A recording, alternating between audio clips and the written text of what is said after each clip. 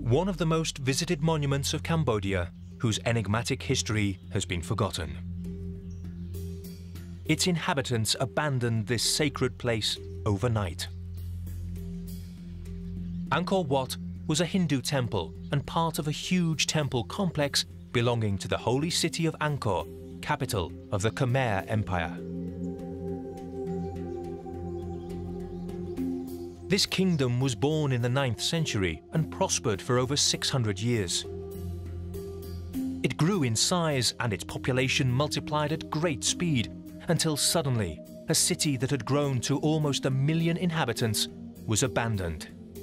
Eventually, it was swallowed up by the dense jungle.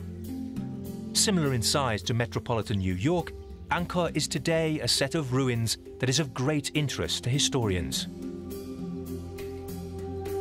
The splendor of the Khmer Empire was based on water. The plain of Angkor flooded with the monsoons, and a vast network of reservoirs and canals, over 1,000 kilometers in total, was constructed to supply the rice fields and fill reservoirs.